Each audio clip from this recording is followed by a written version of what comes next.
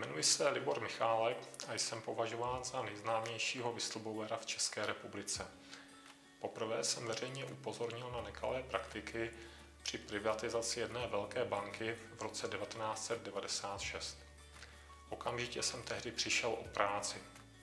Média, politici ani policie se nezabývala mým upozorněním na nekalé praktiky v této bance.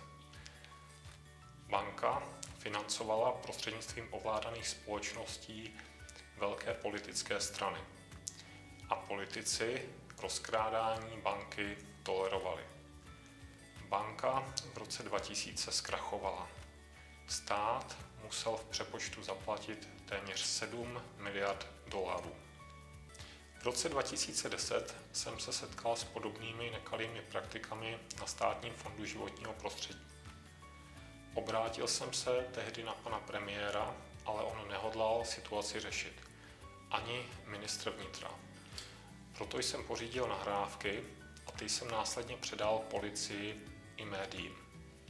Okamžitě jsem byl odvolán z funkce.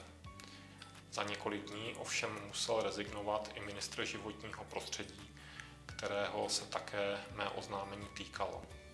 Média si všimla mého oznámení před 14 lety a to posílilo důvěryhodnost mé výpovědi.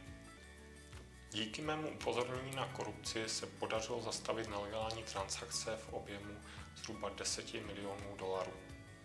Při vyšetřování korupce se ale zjistilo, jak je děravá legislativa. Rozhodl jsem se tedy legislativu měnit. V roce 2012 jsem se stal senátorem a předkládám návrhy zákonů, které prostor pro korupci omezují. Situace v České republice se v posledních letech lepší. V uplynulém roce se Česká republika posunula v žebříčku Transparency International o 16 příček nahoru. V České republice jsou velmi aktivní neziskové organizace, které eh, vydali několik doporučení pro omezení prostoru pro korupci. Jsem vděčný nadačnímu fondu proti korupci také nadaci Charty 77, která mi udělala cenu Františka Krídla. Jsem přesvědčený, že poctivost, zásadovost, odpovědnost se vyplácí. Jsou to hodnoty, které ctím. Věřím, že je lepší mít čisté svědomí než špinavé peníze na zahraničních kontech.